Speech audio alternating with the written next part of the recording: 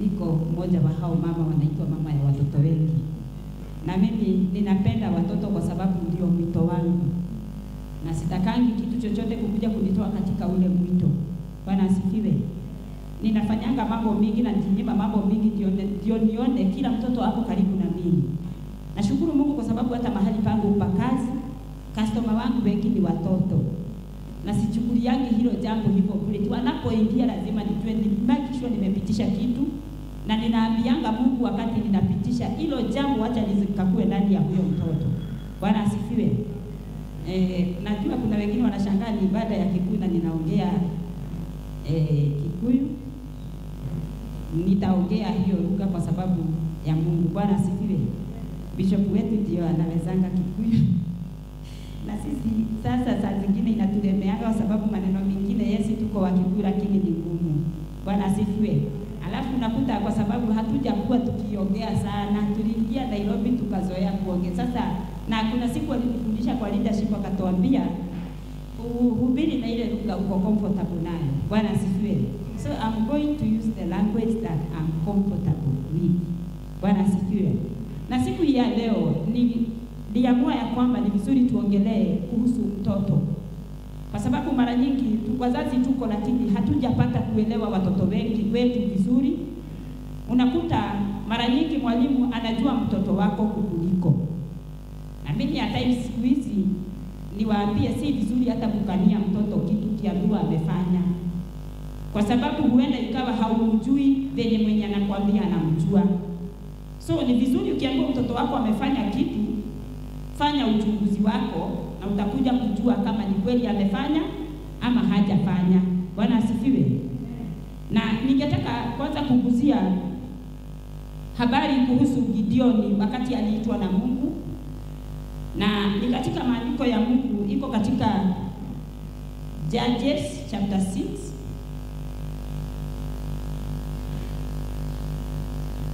na kwa Kikuyu inaitwa Athiriri Fururi chapter 6 na ningependa kuanzia hapo mstari wa kumi na nne. Na nitasoma kwa Kikuyu, ama kama kuna mtu ako na Biblia ya Kiswahili naweza furahi nikisaidika, ama nisome kwa Kiingereza.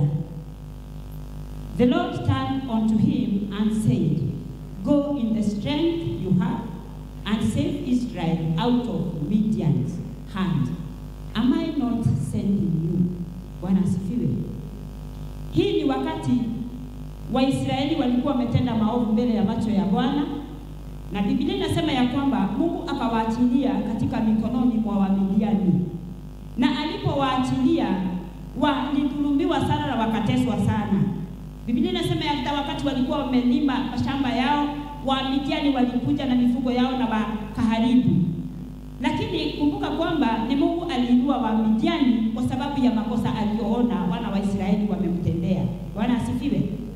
Kwa hivyo Mungu akaamua ku, ku, ku, ku, kuwatesa wana wa Israeli, na wakati walipokuwa wakiteseka eh, Gideoni, Biblia inasema ya kwamba alikuwa mahali amejificha akificha ngano isikuja kuharibiwa na Wamidiani. Bwana asifiwe. Kwa hivyo alikuwa mtoto ako katika harakati ya kuficha mali yao isiharibiwe na maadui. Kumaanisha nini?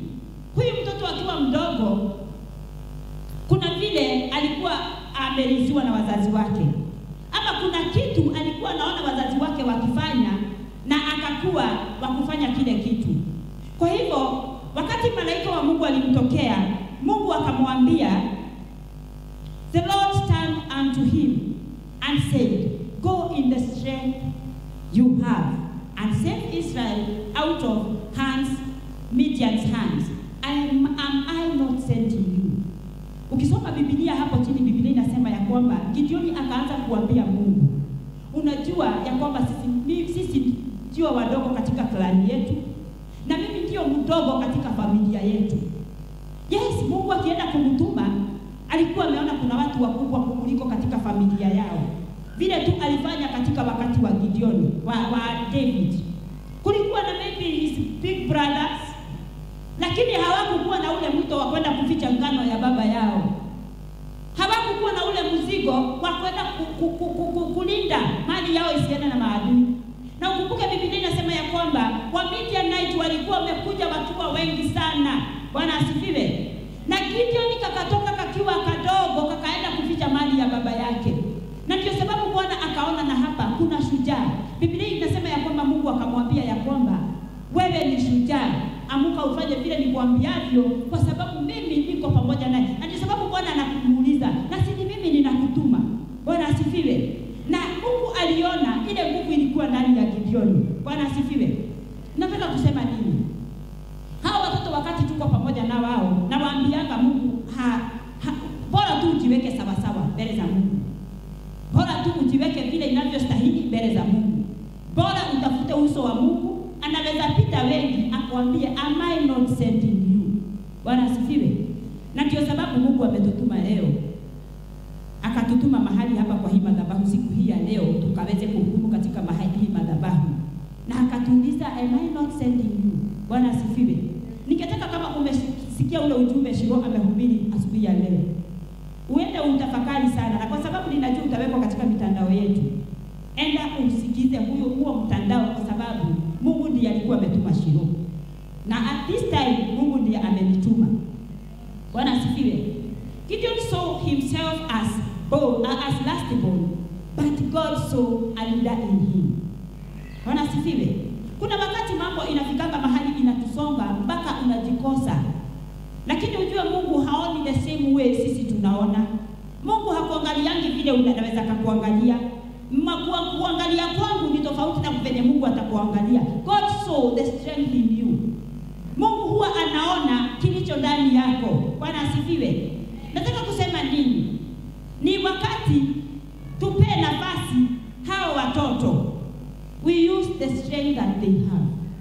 Bwana asifiwe. Kwa sababu wako na nguvu sana ya kutenda mambo makubwa katika ufalme wa Mungu, the same way wanatumika kufanya mambo makubwa katika ufalme wa giza. Tunaweza badilisha hiyo, tuone ile strength iko ndani yao, tuweze kuwashika na kuwaleta katika mahali ambapo panawafaa, wakaweze kutumika katika mwili wa Kristo. Gideon alijiona kuwa yeye ni mdogo katika familia yao, lakini Mungu alikuwa anaona mkiongozi Mungu alizunguka all over in Israel na akatafuta mwenye anaweza kaokoa wana wa Israeli kutoka katika mikono ya Wamidiani. Bwana asifiwe. Na jicho lake lilipozunguka likitazama, alimuona ni huyo Gideoni, huyo mwenye alikuwa anajiona yeye ni mdogo. Mungu hakuona ni mdogo, aliona ile strength, akaona huyu kijana kama anaweza jificha kulinda mali ya baba yake, kama anaweza kosa kuogopa hata Midianites. Bwana asifiwe na si huyu ndiye nitatumia ndio nikaweze kuokoa wana wa Israeli. Bwana asifiwe. Ile kitu tu Gideon alihitaji kufanyiwa ni ku, ku, ku, kupewa uwezo wa kujijua. Hakuwa naelewa chenye kiko ndani yake, depending na vile situation ilikuwa. Saa hizi katika Sudani, huenda ikawa Mungu atatazama tu, azunguke azunguke, atafute ni nani ataokoa katika Sudani, na lazima Mungu atapata mtu wa kuleta suluhisho kwa sababu tumemwomba na ninaamini hivyo. Bwana asifiwe. Gideon saw himself through the lenses of his small clan. God saw Gideon rising to become a great man who shall save the nation. Gideon alikuwa anajiona kuwa yeye ni mdogo sana, ametoka katika clan ndogo yenye haina uwezo wowote. Hata maybe area yenye walikuwa naishi walikuwa wanadhulumiwa. Hao watoto nawaambianga wanapitia changamoto mingi sana by the way, na huwa ninaongea na wao, wanapitia. Kuna watoto hapa wanapitia katika hali ngumu sana, lakini mimi huwa nawatia nguvu, nawaambia ile mambo wanapitia imebeba imebeba, it carries the weight of the, the, the, the mission in, in them. Bwana sifiwe. Inabeba uzito wa ile huduma iko ndani yao, na ninawaambiaga hauwezi jaribu na tumajaribu kidogo sasa saa hizi Lazima utapitia mambo magumu kama mtu kama Gideoni ama kama Daudi. Bwana asifiwe. Lazima utapitia katika hiyo hali ngumu depending na ile huduma umebeba. Kuna watu hapa wamebeba huduma za kuwa president. Kuna watu hapa wamebeba huduma za kuwa women rep. Hawezi jaribiwa na tumajaribu kidogo. So huwa ninawaambia majaribu haitakoma kuja. Bwana asifiwe. Kwa sababu chenye umebeba lazima upitishiwe katika hali ngumu za kuwa well trained ndio uweze kusabu watu wa Mungu vilivyo. Bwana asifiwe. Kwa hivyo Gideon alikuwa anajiona yeye ni mdogo katika familia zao, kama vile sometimes huwa tunajidunisha. Ukiangalia background yako unaona kabisa haiwezekani, chenye umeitwa hakitawezekana. Bwana asifiwe. Lakini ukapewa tu nafasi kidogo, ujifahamu tu na ujielewe vizuri, najua unaweza fanya makubwa. Bwana asifiwe. Kwa hivyo kama uko pale unajidunisha, unajiona wewe ni mdogo, unavuruta familia yenu, unaambia Mungu, hata ona pahali nimetoka penye pako. Mungu hakuoni hivyo. Bwana asifiwe. Inuka na ile nguvu Bwana amekupa, anza kufanya nguvu mambo kulingana na ile kipawa Bwana amekupa. Niliwaambia ya kwamba ile kipawa Bwana ameweka ndani yako, hiyo ndio nguvu yako wakati unaitumia. Bwana asifiwe. Na Daudi, Gideon aliamuka kutumia, na ninasemanga tumebarikiwa kitofauti. Bwana asifiwe. Kuna watu wamebarikiwa ni wapole, Mungu amewapea hiyo upole kulingana na zile huduma wako nazo. Inahitaji hiyo upole. Bwana asifiwe. Like our bishop si shauti. Bwana asifiwe. Anatupelekanga tu hivyo pole pole, kwa sababu mioyo yetu wengine tukikuja hapa ilikuwa ina, sometimes inakujanga imejeruhika, so tunahitaji kupelekwa pole pole. Bwana asifiwe. Kuna mtu amebarikiwa na hiyo upole kwa sababu ya ile kazi iko mbele zake amepewa na Mungu, na kuna mtu anapewa ukali. Huyo mtu si ati ni mwenye dhambi juu ya kuwa mkali, ni kulingana na ile mbio atapewa na nani? Na Mungu. Kuna mtu ameumbwa yeye ni mjasiri. Bwana asifiwe. Kwa sababu ukiangalia mtu kama Gideoni, ni ujasiri ilikuwa imempeleka mahali pale, lakini yeye hakuwa anajielewa kuwa yeye ni jasiri. Ni ushujaa ilikuwa ndani yake, lakini hakuwa anajielewa kuwa yeye ni shujaa. Bwana asifiwe. Until the time Mungu alimfahamisha kuwa yeye ni shujaa na akamwambia, enda katika zile nguvu nimekupea. Bwana asifiwe. Huenda ikawa hapa uko hapa unasikiaga kitu ikichemuka ndani yako, lakini hujawahi weza kuiachi- kuiachilia. Amuka sasa, Mungu anakuambia am I not sending you? Uende mahali umetumwa na Mungu ukafanye vile Mungu amekuamuru kutenda. Bwana asifiwe.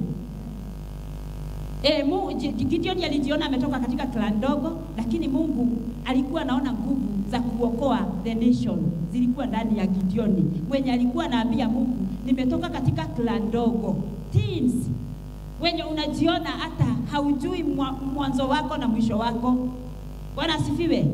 Haujui utamalizia aje.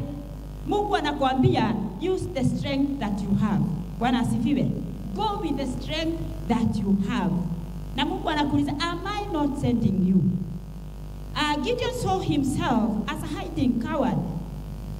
God saw a courageous warrior in him. Bwana asifiwe. Gideon alijiona kuwa yeye amejificha tu. E, amejificha tu. Bwana asifiwe. Lakini Mungu aliona a mighty warrior. Bwana asifiwe. Na Mungu akaona mtu ambaye atatumia kuokoa na kukomboa wana wa Israeli. Mahali hapa umejificha, unasemanga mimi nasikianga uoga kwenda pale mbele. Mungu anakuambia utoke, kwa sababu ile nguvu ameweka ndani yako inahitajika kuhudumu, inahitajika kutumika. Bwana asifiwe. Kuna watu wengi wanahitaji hiyo nguvu, na ili maisha yao ikaokolewe ikaokolewe. Kama Gideon angekaa hapo na abishane na Mungu na amwambie siendi, Waisraeli wangemaliziwa. Ni kweli ama si kweli? Lakini wakati aliamuka na zile nguvu, Mungu alimwambia uko nazo na, na, na kuna mitihani aliwekea Mungu. Gideon ndio ujue alikuwa courageous, alikuwa mighty warrior. Alikaa hapo na Mungu na akamwambia kama ni wewe fanya ABCD, naye Mungu akatii Gideon. Kwa hivyo wakati Mungu atakuita, ako tayari kujibu maswali zako zote, ako tayari kukujibu vile utamuuliza, ndio uweze kutumika kuokoa maisha ya watu. Bwana asifiwe. Gideon alikuwa amebeba the whole nation, ilikuwa mikononi mwake. Kama angekataa, the whole nation ingekuwa ingeangamizwa. Pia wewe huenda ikawa umebeba the whole nation, na si huenda ikawa, ni kweli Ile maombi unaweza omba mbele za Bwana kama wewe ni intercessor. Ile maombi unaweza beba ombea hii kanisa kama wewe ni intercessor. Inaweza ka leta mabadiliko. Bwana asifiwe. Kwa hivyo hapo umejificha ukijiona kama wewe ni duni. Hapo umejificha ukisimamisha visababu. Ni wakati wako kuinuka na kufanya kazi kama vile Mungu anavyotaka. Bwana asifiwe. mm -hmm. You are who you are, God says you are. And you can do all God says you can. Bwana asifiwe. Wewe uko vile ulivyo kwa sababu Mungu alikufanya ukue hivyo, na ulizaliwa kwenye ulizaliwa kwa sababu Mungu alitaka uzaliwe huko. Kuna watu huwa wana baby kwa sababu ya kuzaliwa from some other tribes, but Mungu alitaka utokelezee huko, na chenye Mungu amesema sema utafanya, utafanya kwa sababu ni yeye amesema utafanya. Bwana asifiwe. Mahali Mungu alisema utafika, utafika kwa sababu ni yeye alisema utafika. Bwana asifiwe. Kwa hivyo jukumu lako ni kuamuka na kufanya vile anavyokuambia, kama vile alivyomwambia Gideoni, go with the strength that you have. Bwana asifiwe. Ifanya tu venye Mungu anataka. Mahali alisema utafika, utafika kwa sababu ni yeye alisema. Bora ukubali kutembea pamoja na yeye, lakini ukikataa kutembea pamoja naye, Shiru alituambia ukimake bad decision eh, utapata matokeo ya hiyo bad decision na straight away wakati una make bad decision ni kumaanisha mnakuanga na ushirikiano pamoja na shetani na shetani. Bwana asifiwe. But when you make the right decision, kuna matunda mema utakula, kumaanisha muna, una, unafanya uamuzi mwema ukiwa katika pamoja na Mungu. Bwana asifiwe. Kwa hivyo ni wakati wetu to make the right decision wafanye uamuzi mwema kwa kusikiliza sauti ya Bwana inakuambia ufanye aje. Kuna watu wako hapa wamenenewa na Mungu kufanya kitu, lakini ungali tu hapo umekataa. Na wacha nikuambie, sauti ya Bwana ikikuja kwako mara moja, Mungu wetu ni mwaminifu, atairudia mara ya pili na ya tatu, lakini wakati atamaanisha kuondokea, atakufanya kama Sauli. Biblia inasema ya kwamba Sauli alifanya mambo ambayo haikuambatana na mapenzi ya Mungu, na Biblia ikasema, Biblia inasema ya kwamba Mungu akasema nimemkataa. Na wakati alikataliwa na Mungu, alitumika katika ufalme wake for 40 good years. Ah, kama hana Mungu anatembea tu hivyo peke yake, na hakuna kitu kibaya kama kutembea kama hauna Mungu. Bwana asifiwe. Kwa hivyo chochote umeambiwa na Mungu utafanya, wacha kuweka visababu. Amuka ufanye vile, kwa sababu ni Mungu amekuambia ufanye. Bwana asifiwe. Let us drop the low, low self-esteem for God highly for, go, for, for, for God highly esteems us.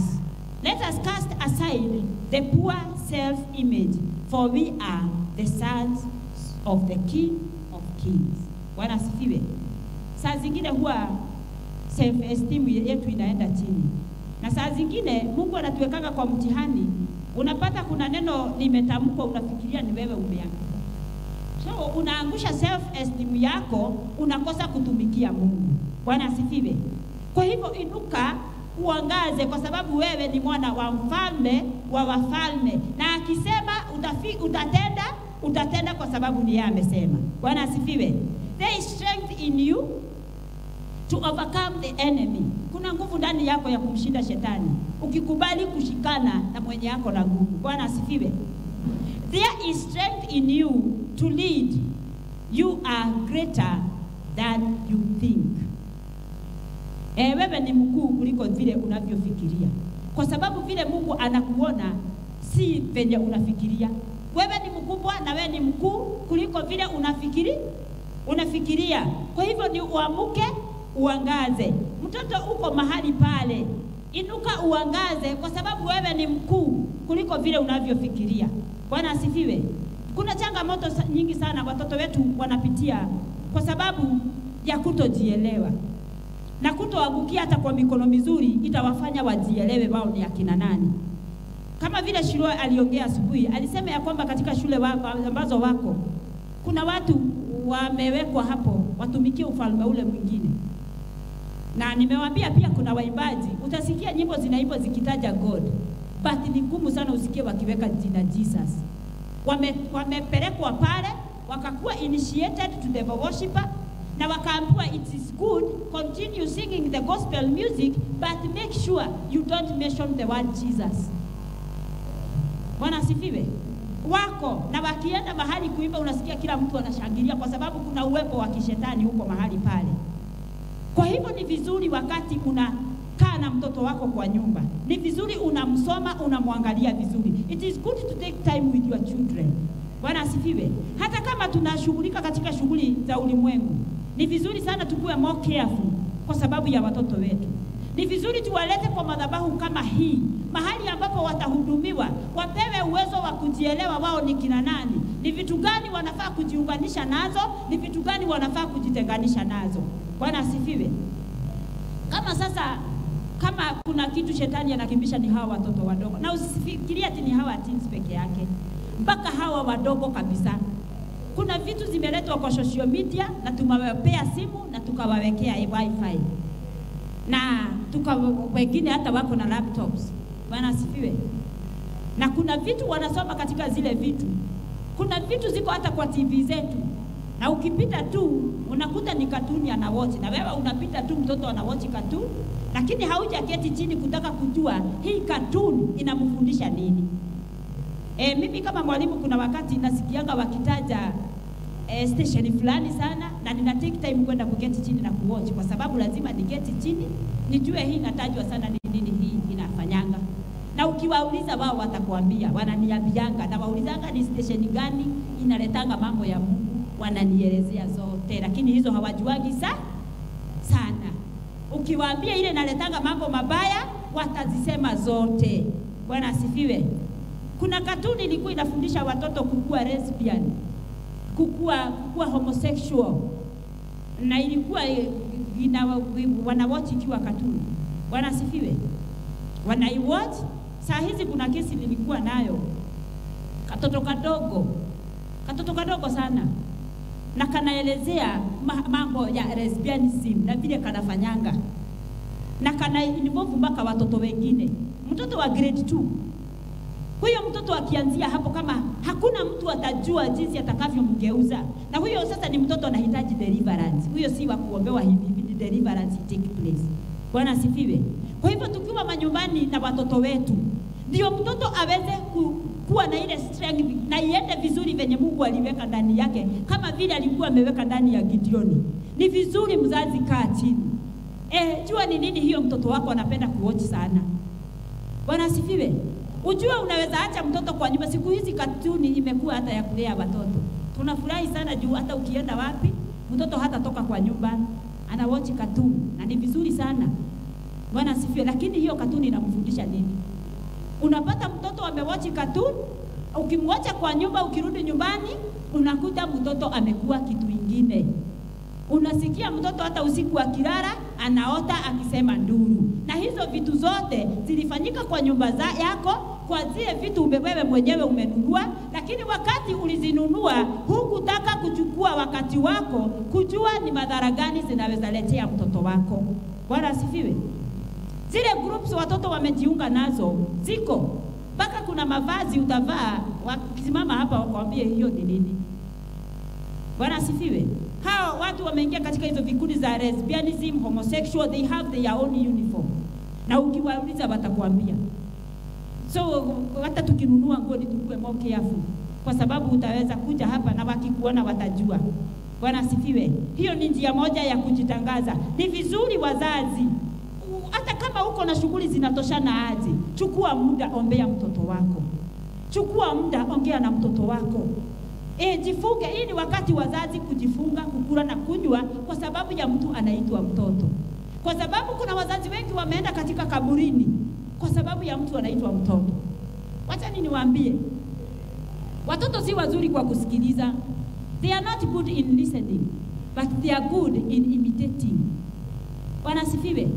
Wako wazuri sana kwa kuimitate, na anaweza kaimitate kitu mbaya ama kitu mzuri. Ni nini wewe unafanya kama mzazi inaweza fanya mtoto wako aingie katika majaribu?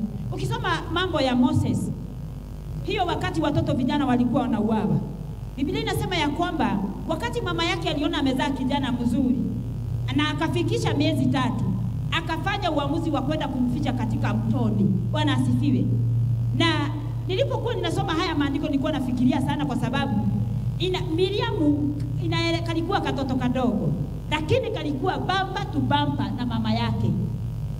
Biblia inasema ya kwamba wakati mama yake alienda na akaficha mtoto hapo kwa mto, haka kutoka mahali pale, kakakaa mahali pale mpaka binti ya Fira- Farao akateremka kuja kuoga. Wakati Miriamu aliona ule binti ya Farao ameona ule mtoto, alikimbia mbio, kwa sababu alijua mama yake haya yote hafanyi kwa sababu ya kutupa mtoto wao. Aliimitate vizuri sana, akajua mama yake ako katika harakati ya kusefu mtoto wao asifanyiwe madha madhara. Kakakimbia kakamuuliza, naweza kuletea mtu hata atanyonyesha huyu mtoto kutoka kwa, kwa, kwa, kwa, kwa, kwa Waebrania? Naye binti ya Farao akamwambia ndio. Kakakimbia, Bwana asifiwe, kakaleta mama yake na kakakuwa na amani kujua ya kwamba mama ya mtoto wao ako safe. Kwa hivyo ningetaka kukuambia mzazi, chochote unachokifanya ujue mtoto anasoma, chochote utakachokitamka ujue mtoto anasoma, na watoto wanasoma kutoka na ile mambo imewazingira. Ni mambo gani umeexpose mtoto wako kwa kwayo? Bwana asifiwe. Ni masomo gani umeweka hapo, mtoto atasoma ama atapotea? Bwana asifiwe. Kwa hivyo we need to be more careful kwa sababu ya hawa watoto wetu. Ni watoto wanapitia changamoto mingi sana na hawana watu wa kuwasikiliza, na wamepitia katika, kuna watoto wameingia katika shame, na unajua mtoto akiingia katika afanyiwe kitu ita, itampita nguvu. Kuna wengine wanapitia katika rape eh, na wengine wanadhulumiwa hata na wazazi wao.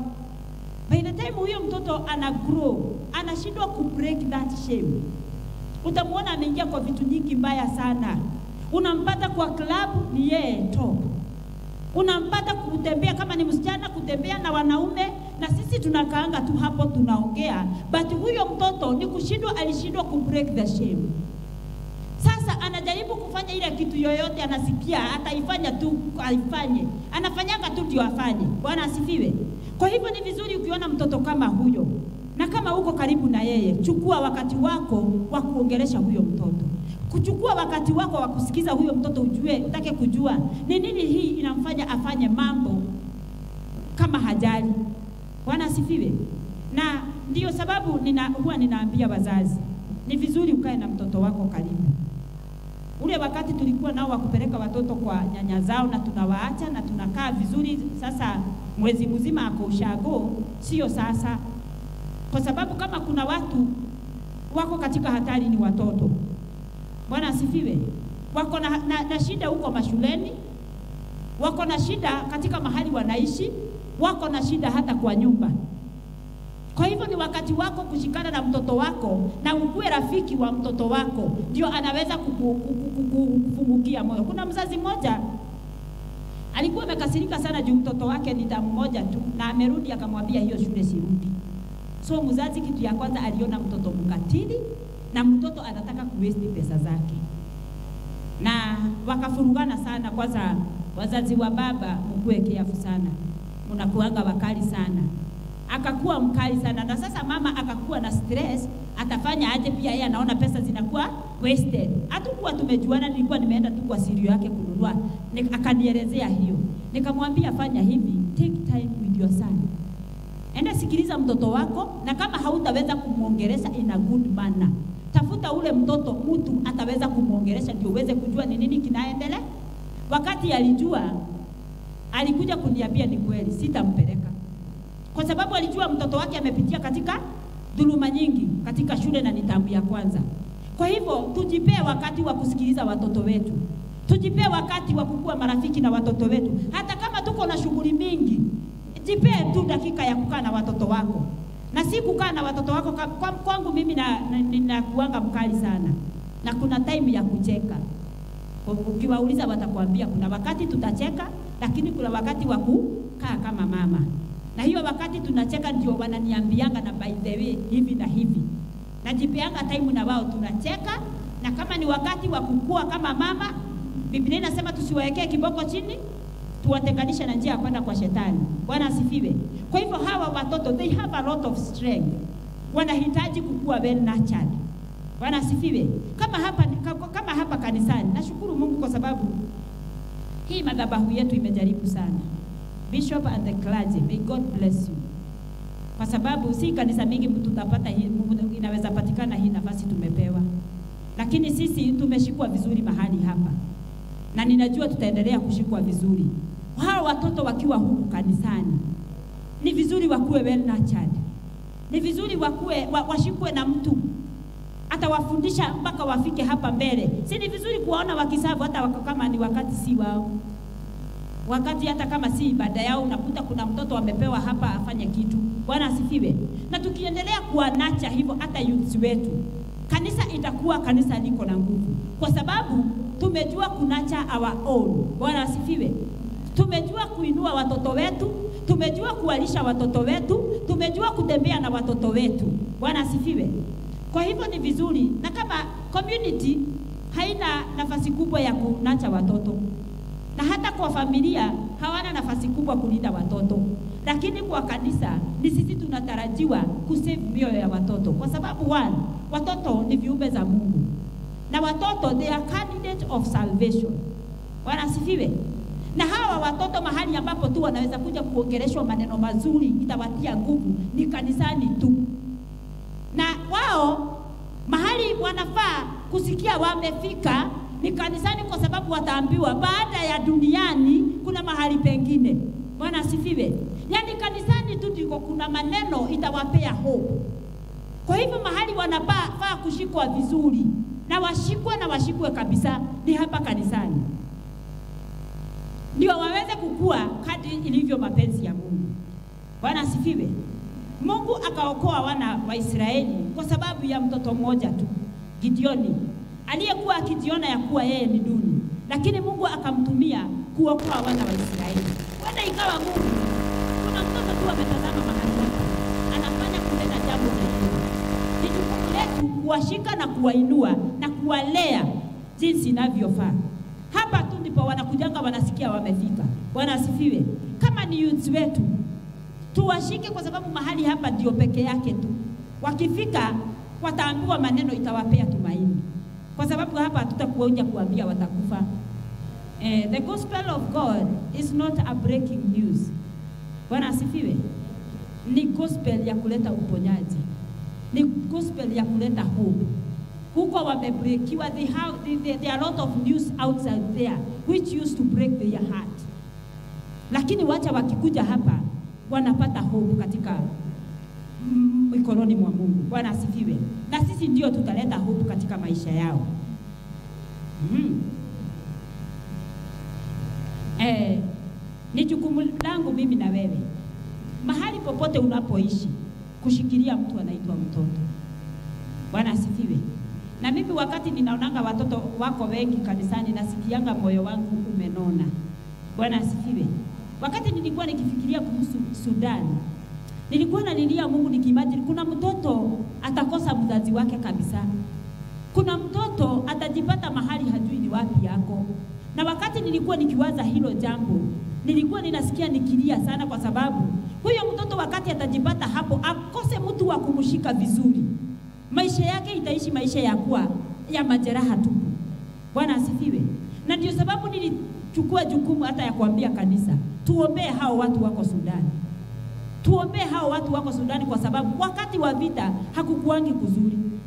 Wakati vita imetokea, mtu anakuanga mahali pabaya ni mtoto, ni mtoto, kwa sababu labda vita ilitokea wakati mama alikuwa shughuli zake na ikatokea. Bwana asifiwe. Kwa hivyo ni wakati, ni wakati mzuri, ni wakati wetu sisi wote tusimame na mtu anaitwa mtoto. mm-hmm. Bethlehem was small town, was a, was, was a small town that carried a big blessing. Bethlehem ilikuwa ni katauni tu kadogo, kama vile hapa tunaweza sema hata kakanisa ketu ni kadogo, lakini ilikuwa imebeba mkombozi. Bwana asifiwe. Ilikuwa imebeba mkombozi na ilikuwa hata inadhulumiwa kwa sababu nika nika, nika, nika sehemu kadogo. E, ilikuwa inadhulumiwa venye hata sisi tunaweza dhulumiwa, tuko katikati ya vilabu. Bwana asifiwe lakini ilikuwa imebeba baraka ya ukombozi. Bwana asifiwe.